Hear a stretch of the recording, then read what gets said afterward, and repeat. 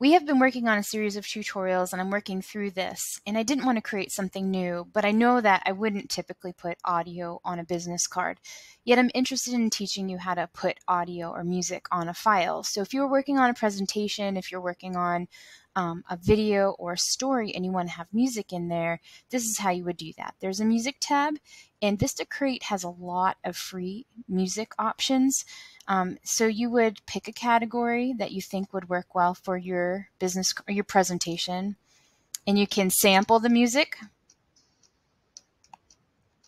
If it's just not what you want, you can hit that back arrow that you just saw me hit and look for another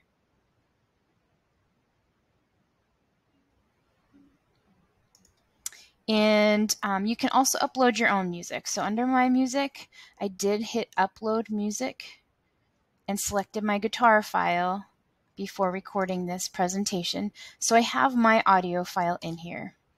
And I clicked on it just like I can click on any of these other ones. If I want this audio track in here, I click on it. And now I have Silent Night in here.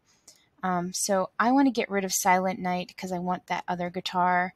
So I'm clicking on the word Silent Night and I'm going to hit this little trash can down here. And I want my guitar, so my music guitar. And when um, I add that, you can see that it adds um, it adds a little bit of a, a, a, track down here at the bottom. And I can do something with that. I can search for what I want of the guitar track and hit play.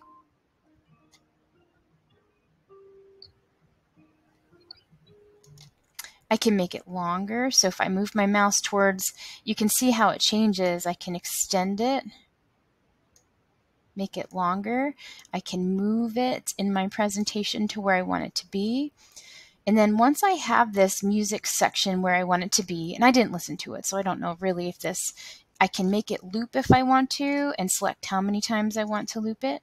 Um, or I can make it fade in I can make it fade out, which is a little bit easier on the ear. So if I play it,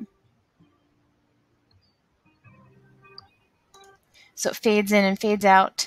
Um, and then I can work on other things. So if I click on the text, that track goes away. So to get back to the track for editing, I can click on, it has this little box down here that says the name of the file.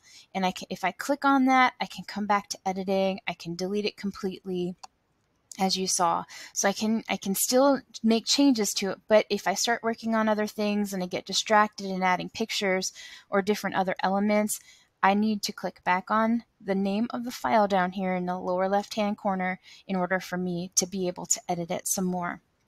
Then when you're downloading it, you would download as an MP4 because it has audio this time. A GIF file has no sound, but the MP4 has sound.